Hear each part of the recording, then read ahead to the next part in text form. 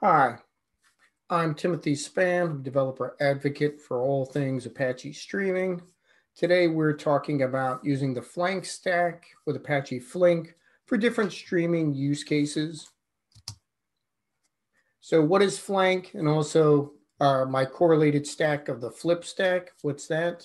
So FLaNK is Apache Flink, Apache NiFi, and Apache Kafka working together. FLiP is Flink, Apache Pulsar, the connector that connects those together, and some other Apache projects. You know, we could throw NiFi in there, Tika, lots of different great projects in Apache we can use.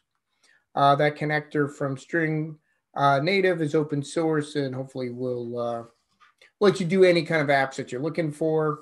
Apache projects are the way to do all kinds of streaming use cases, and we'll show you that today.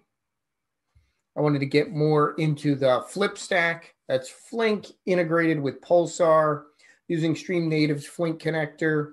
We could bridge between those two different streaming systems. Makes it very easy. I get uh, data into a Pulsar topic, and then I could read it from Flink, and Flink can also push to a Pulsar topic. So you got both source and sink there. So wherever it needs to be in your streaming pipeline, you have that ability. It's not just source, it's not just sink. You've got options, which gives you a lot of power. Why Pulsar? Again, another great Apache project, open source. Nice is cloud native, distributed messaging, streaming platform to do, you know, almost everything you need to do with events and objects and data as it's coming in motion in a stream. Makes it very powerful, easy to use.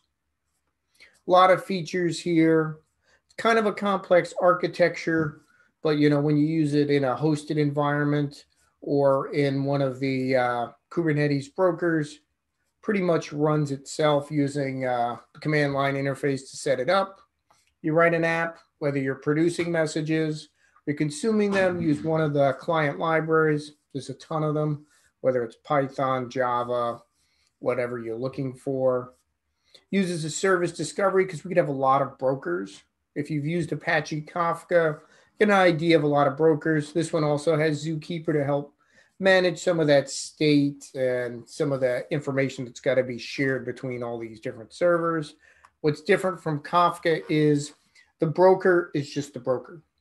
It does, you know, replication and client communication, dispatch, all those sort of things, load balancing, but it doesn't store the messages. This is an important difference because this lets us scale how many consumers and producers we're managing separate from the data. And what's nice with uh, Apache Bookkeeper, these bookie servers have tiered persistent storage.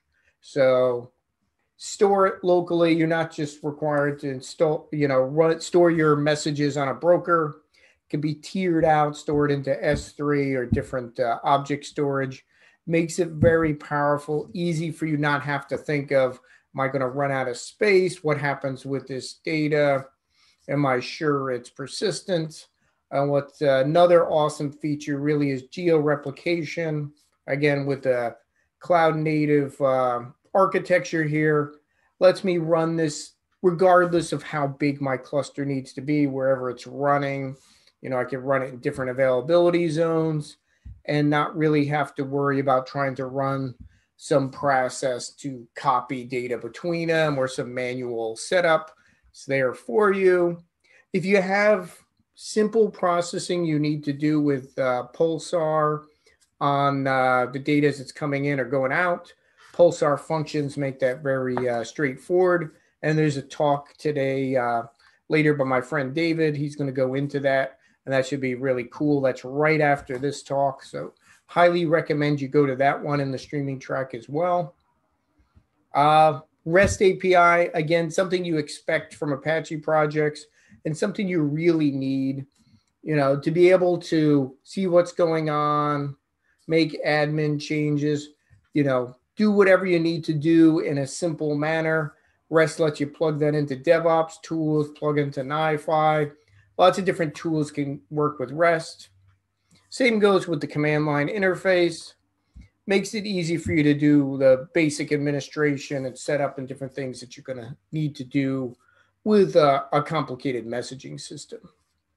Uh, different kind of subscription types. It's not like Kafka where you only have one way to do it. And something kind of critical if you're going to use this in an integration environment.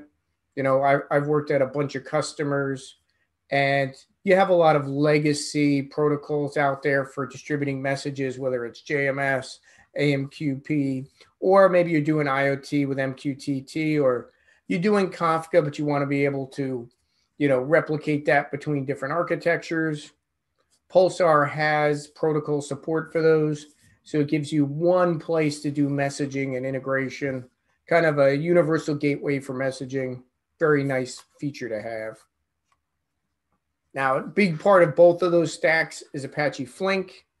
Flink is a project that scales up immensely. We're talking billions of data points, millions of events, millions of uh, things happening real time. You run machine learning in there, real time data pipelines that is complex as you need to be, and unify that stream and batch for data event processing. Very powerful there and ton of uh, connectors you need for doing things with uh, HDFS, Pulsar, Kafka, object stores. You get that. What's nice, a uh, little separate from, say, something like Apache Spark, which is great uh, as well, is that it is true event at a time. You know, it's not uh, a micro batch or a simulation, and it provides for the ability to do stateful or stateless operations which can be very powerful. and being able to store that state along with Flink and various uh, stores can make things very performant for doing aggregates and processing that needs to know what happened before. Again, stateful processing and streaming is something that happens. What's nice is the compute happens like Spark in memory. So you could scale it out very easily, add more nodes with more RAM, more processors, you'd get more done. Flink supports a very rich SQL thanks to uh, one of my favorite projects, Apache Calcite. Give you a standard ANSI uh, SQL 92 to be able to run complex queries. So you're not limited to just a select from. There's joins, outer joins, functions, everything you expect to see in a real relational database is in this SQL. And it'll run on Yarn, Kubernetes, different environments. Again, a nice thing to run in whatever cloud you have.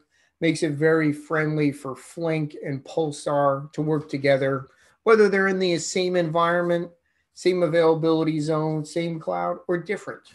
You know, that's that's the power here. As long as you have your security set up and you can connect between different environments, you're set to go. Flink SQL, I use that for a ton of applications. When we say streaming analytics, I'm not waiting till it's in its final store or even in its final state. Maybe I'm getting raw JSON data.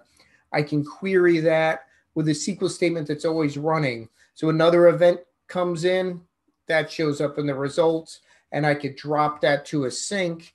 I could push that into another Kafka or Pulsar topic, put it in a final data store, do some analytics on it, functions, machine learning whatever functions or libraries you've built up in there, be able to do continuous ETL or ETL processing on that. So you get the data, change it up, and then by the time it's downstream, it's converted for you, event at a time, really quickly. There's also some advanced semantics in that SQL for doing complex event processing.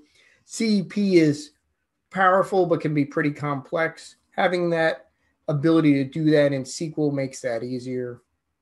And having this be extremely scalable helps out. So even though maybe you start off on your laptop or single Docker container, could scale up to thousands of nodes on uh, any different cloud or environment. Makes it very powerful. You learn it once, scale it as big as you need to. I've got an article in there for an example of using uh, one of the tools that makes Flink SQL a little easier. So this is uh, example architecture I have. All different types of data, anytime, anywhere you need to run it, multi-cloud, multi-protocols, whatever it needs. Uh, this is a good way to do this. Kind of a mix of FLiP and FLaNK. which uh, sound cool together. So say I have data, it could be text, could be XML, JSON, comma separated value, Excel, documents, images, S3 bucket, SQL databases, Mongo, you know, stuff from Hadoop, Avro files, IoT sensors.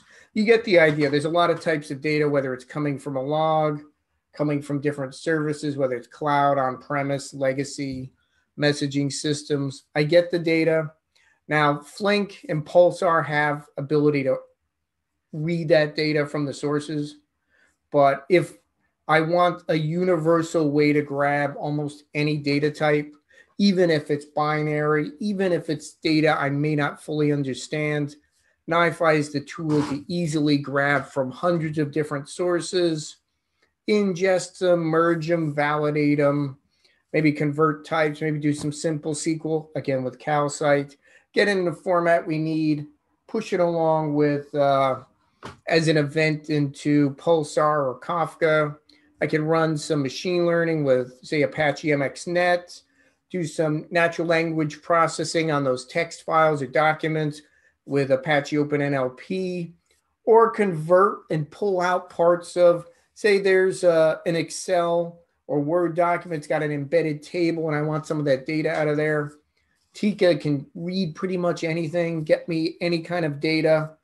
Uh, I've got a processor for that in NiFi. It makes it very easy to turn documents into live objects, into events, into things that I could use to make real time decisions, whether that's happening on an edge in, say, a NiFi, MiNiFi agent, or on a server somewhere, anywhere on any of the cloud services and then I get this into Pulsar. I can replicate this around the world, drop this into different uh, storage through uh, simple tiering or through complex processing with Flink, and then make it available to whatever analysts, data scientists, application developers, whoever's needing to have this data, write apps, whether that's in from static stores in regular tools or in Jupyter notebooks or Apache Zeppelin notebooks, or maybe it's continuous SQL and I'm pushing that to a REST endpoint and could use that pretty much anywhere. You know, most uh, tools, whether it's uh, you know front end apps, websites, mobile phone apps, can interact with REST, so that makes it very powerful. I have links to more content here. So you want to see articles, you want to see examples, source code, all of that is here for you. Makes it very straightforward. But you probably don't want to just see slides. I'm hoping not. I, I'm a big fan of showing live code. So what I have here is uh, Apache NiFi, and I'm going to go into an example application that I'm using to gather data from a couple of different sources and process this as we mentioned.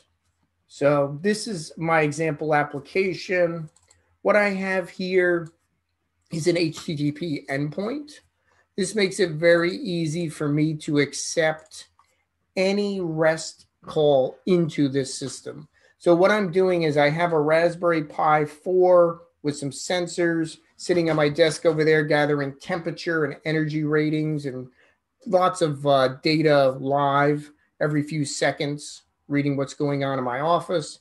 And then on the other side of me, I've got a NVIDIA Jetson device that's running some basic analytics and also running a camera facing me down here, gathering data.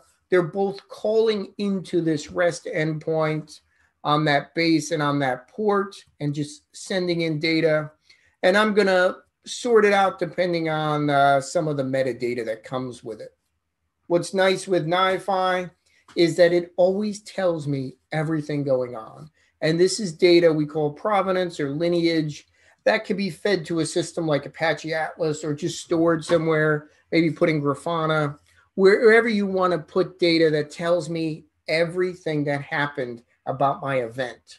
So this is the birth of our event. The data happened, came off a sensor live, came off a camera, came out of a log file. Data's born. It has, a, you know, a starting date. Here we've added a unique ID to it. We know the size of it. And I know some metadata. This is the REST call that came in. Uh, I also passed in an extra parameter to tell me this is SCADA data. So this is some of the sensor readings and you know the contents here and I could view that to see what's going on. And I've got a bunch of different types of data here. This is 100K. This is probably an image. Yeah, that's an image coming off the uh, NVIDIA. And this is uh, some processed image that went through deep learning libraries. Again, NiFi doesn't care. And then here I can route that data to different modules to process that, letting me do my programming based on what type of data it is. So I've got that uh, Raspberry Pi 4 and I've got that Xavier NVIDIA device. I'm going to send them to different places. And we show you some of that data coming in. Uh, what I'm doing with the NVIDIA one is pretty simple, but it's pretty cool. So here you'll notice this one has stopped. And that stopped because I chose to stop it. What's nice with this is doesn't really matter. I could stop things on demand and when I'm ready, restart them. These are configurable queues where that can be load balance, can have priority, makes it very powerful to do whatever I want. And I could see what happens. Some of the data is just a static run log, not very important. I don't really have a use for it, but I might use it for auditing. So I'll save that data in case someone wants it. Uh, I've got some that's images. If it's image data, I'm going to send that to a deep learning processor I wrote in DJL that uses Apache MXNet to figure out what it's doing. See, here's an image. I can download that image, do whatever I want. NiFi doesn't care that it's binary. I could send that to a processor that works with binary data. If it happens to be JSON data, I send this to a query record processor that uses Calcite to run SQL queries against it. My SQL query is pretty weak but I could examine any of those fields and make a where clause. I could select different fields from that that I want to work with, maybe do aggregation, maybe do ordering. Up to you. Here I'm keeping it JSON, not making any changes, but I could stop that and convert it to something else. As you see here, when it's done, I'm sending it to a Kafka topic. Got a topic called Xavier, just to give you an idea. That's all I'm doing with uh, the data coming off of that NVIDIA device. I could do more. I have those images. I could send that to uh, different uh, processors to do more. Again, it's whatever your deep learning or whatever you want to do with images. Maybe just drop them in uh, storage or Glacier, whatever. So I've got a bunch of data. Again, I paused it here so I could show you a bunch of data happening at once. This is that uh, data for uh, coming off that Raspberry Pi. And I could choose to run it just once just to have a little bit of data coming through. If I'm doing some debugging, you know, I can go through the provenance, see everything with the data, all the attributes. I could see what file this came from. So this was from a log on the Raspberry Pi. And I could just release it, have everything start running. And then by the time I refresh the screen, we processed a few thousand records. This is a local NiFi running on my laptop just to show you what you can do. I could have run a small cluster here, could have ran it in this office in a different cloud, wherever it needs to be, as long as I have network connectivity here. Again, I'm going to push that data to Kafka, I can push it to Pulsar, wherever I need to push it. Here, I'm doing a little query, uh, a couple different ones, checking temperature. If the temperature is high, we have parameters here so I can don't have to hard code things. So the query here is pretty simple, but it's looking, making sure that uh, it's a float and checking the temperature over 70, getting a little warm in here. Uh, I'm not going to do anything with those alerts right now, so I'm just going to get rid of that. Very easy to get rid of data. Here, I'm going to uh, take that data, break it up so it's individual records. Sometimes JSON data will come in thousands at a time. I want to just break it up because my MQTT broker needs pretty small records to work with. So I'm just going to send those, send them to my MQTT. And as you see, I published 4,000 records very recently. And I'm pushing some to uh, a Kafka topic. Again, I could push it to Pulsar. I could push it to uh, any cloud native messaging or JMS, whatever makes sense. So that data is now sent up to uh, Amazon Cloud somewhere. And as you can see, that came in from MQTT, came in from Kafka. If you look at the file size, you see that difference. MQTT, I split it up into smaller records. So there's 4,000, but it's three megs. Here in Kafka, 233, three megs. You get that idea. I also send it to an HTTP gateway directly from that device. And we have here another router, which I stopped. This looks at the data and decides who's processing it and how. So we can start running that. As you can see, records process really quickly.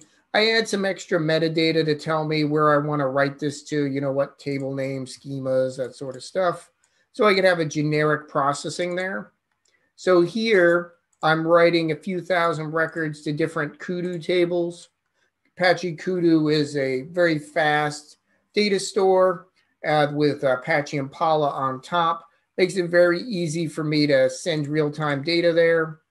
As you see, I just processed a few thousand uh, records pretty quickly.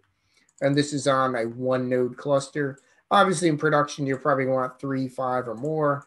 Here I'm sending it to different Kafka topics based on that data that's coming in. So if it's energy data, send it to one place. If it's uh, sensor readings, send it somewhere else. So we get that distribution pretty straightforward.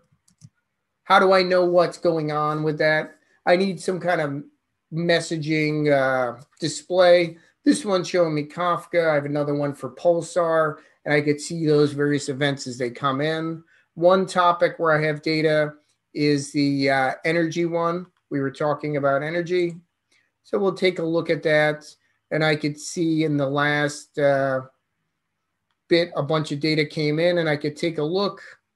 That is JSON data. I could see the various sensor readings on there. Makes it easy to see what's going on with this energy uh, monitor. And then I could go back to uh, that SCADA reading. I could see I've got you know, 11 megs of data in there and 30 came out already. You can see the different sensor readings, temperature. Ooh, that's pretty high temperature. Might need to turn the air conditioning on in this office, but it's making a lot of noise. Don't want to interrupt the recording, but the computer's suffering. At some point, I've got uh, code on that device within that agent. If the temperature gets above an unacceptable rating, it's going to turn on a fan if it still isn't enough, then the next step is it's going to shut itself down and then I'll stop getting data and I'll be able to see that in alerts because it just got too hot. You know, that's going to happen based on uh, temperatures. Now, if I want to send alerts, I could have alerts in case anything goes down with my infrastructure or if no one's consuming the data or if maybe I'm running out of space, all those sort of things. I could see there's some lag here on the two uh, readers that are in uh, in Flink. So I want to make sure that my job is still running here and we'll check that out. Make sure we're getting data. If you look here, pretty straightforward code. Let's see if I make that a little easier to see. I'm not sure which is better for you, but if you look here, I'm doing a select. This is continuous SQL as you see more records pop in at the bottom what it's doing here is selecting from two different tables. These are virtual tables to make the SQL syntax make sense. I'll show you what Energy 2 is, and I'll show you what SCADA 2 is. These are the topics that I joined together that have that real-time event data as it pops up. You can see more data coming in. And I join them. Here it's just a simple join. I could do a full outer join. I could pick different fields. I could do aggregation. There's a lot of different things I could do here with Flink SQL. Here, I don't have it going into any sink, but I have a materialized view.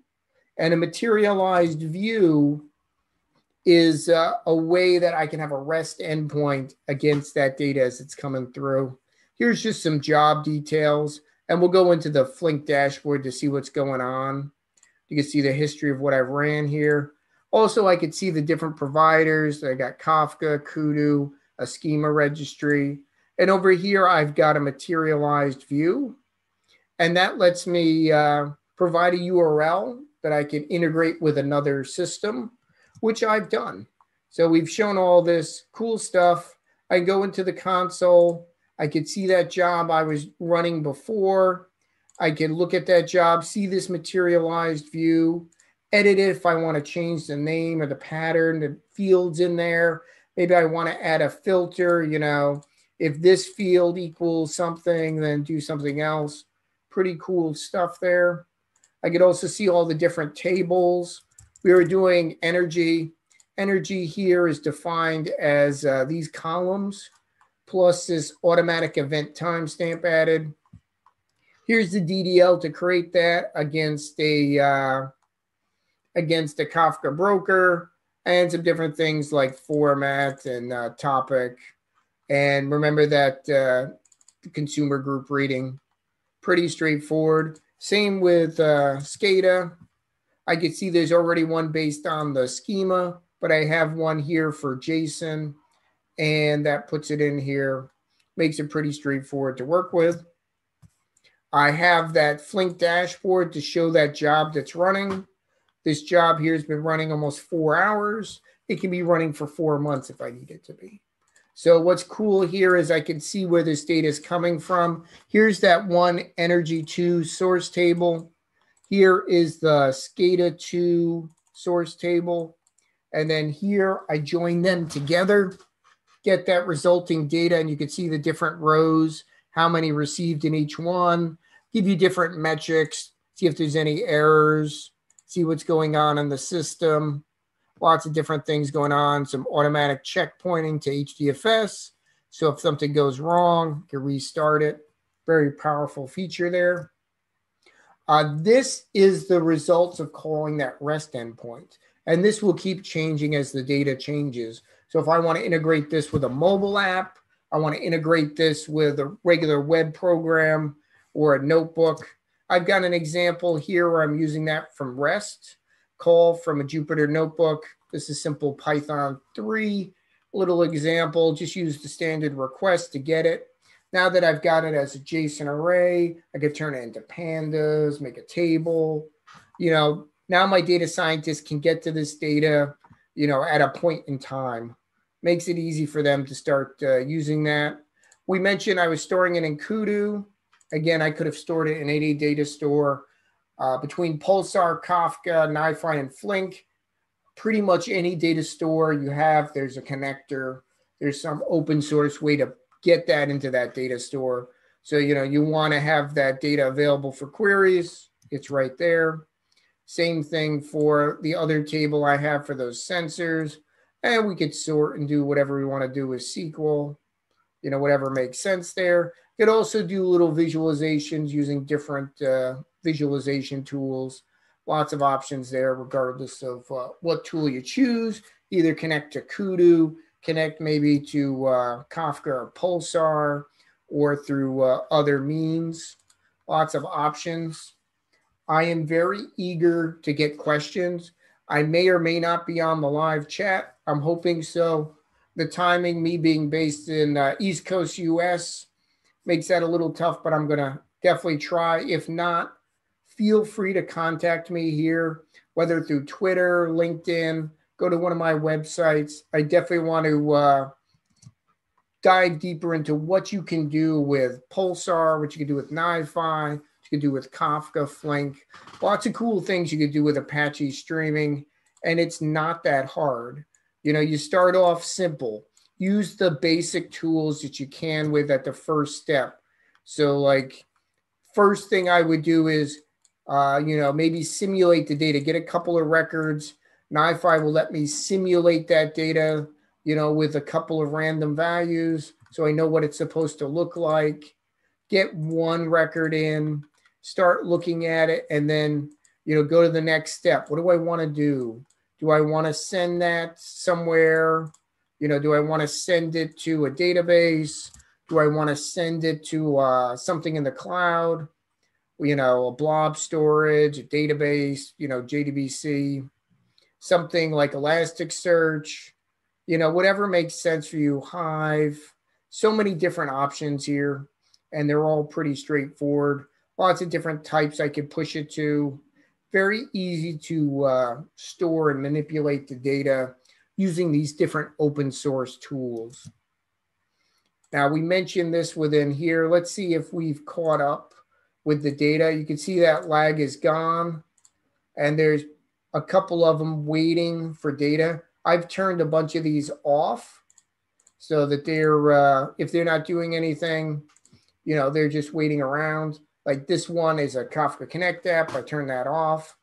We should check uh, this one and see why he's slow. Make sure that uh, this one is still running. You know, here's the producer. There's no one consuming it. That could be the issue. And we could take a look at that consumer group. Make sure we didn't change the name. Sometimes I change the names on these and you'll have something like this happen and you don't realize it. When you're running these things within uh, Flink SQL, we named it. So we were looking at that SCADA 2. If I look here at the DDL, I could see that that's SCADA Flink 2. Now I'm running the join here, so it may not be using that consumer group name. So we could take a look in uh, in Flink here to see what the consumer group name is. Make sure we're matching up. So when we're pulling things out of there, you know, we see what's going on. You know, these are things you might want to check. Make sure you don't have uh, latency or losing data. Again, powerful system here. What's nice here with the dashboard, I can see all the different Flink jobs running. As you see, I didn't write any Java code. This Java code was built for me automatically with the uh, with the Flink SQL, so it makes it very easy to write these apps, even though it's doing some pretty powerful work here for me. And again, if I want to use uh, different sets of data here, I could just keep refreshing this, get the current, or maybe make a Python application that you know, updates the data or updates a graph or chart every couple minutes or even seconds, depending on how fast you want that refreshing. Same with anything accessing the data as we store it, you know, gets updated as we do it. Get that dashboard not working. Maybe look at a different sensor. You know, we're pushing lots of different data to these things. And this is how we accomplish these type of apps where I have sources. I want to get them event at a time. Maybe I want them in a small batch, but often as soon as something happens, like the temperature got hot on a device, I want to know as soon as that event comes through the system. I don't want to wait for something to happen. Like here, as soon as that event made it to NiFi, I could take a look at that temperature and see if it's above certain temperatures. And I could have done this with Celsius. I could have done it with any of the sensors or any of the values to take a look. And here, if it gets above, if the temperature is trending up, I could send that over to a Slack group. See here, I've been uh, had a lot of alerts, but I turned them off. I should have turned them back on so I would have known, hey, it's getting hot in here. Might be time to turn on additional fans or air conditioned units. Those sort of uh, processes are pretty simple. Uh, we could also, if we didn't want to go through all of this trouble, like maybe I don't want to do much with NiFi, maybe NiFi is just being this listener. I could have done this right here and pushed this right to my uh, right to my broker, whether that was Kafka, Pulsar, Kinesis, anything else you have out there, and cut out that step. I probably want to do the routing, so I send just the ones that should go there but I could have that topic dynamically defined based on metadata. You know, as you see here, we're looking at the different metadata you can access. Could have used that to determine what topic to go to. Pretty straightforward. And I was talking about those Kafka Connect apps. Again, that's another way I can get data into the system. Pretty straightforward. And it's defined with a simple JSON, but gives you more options again, when you're using a complex system, start off small, get the data in a format that you need. once you have it in that format, validate it, clean it, get it into something like Pulsar so it can be distributed, and then write your continuous SQL on it. And that's the majority of apps you need there. All these systems are designed to scale out, and there's tools and guides out there in the open source to make that pretty straightforward. I'm hoping you uh, enjoyed the talk today. If you have any questions, please reach out. If I'm not on the chat, I'm in the uh, Apache Slack. I'm around. Thanks for joining my talk. I hope you uh, enjoyed it and see you at uh, ApacheCon, uh, the global event later in the year.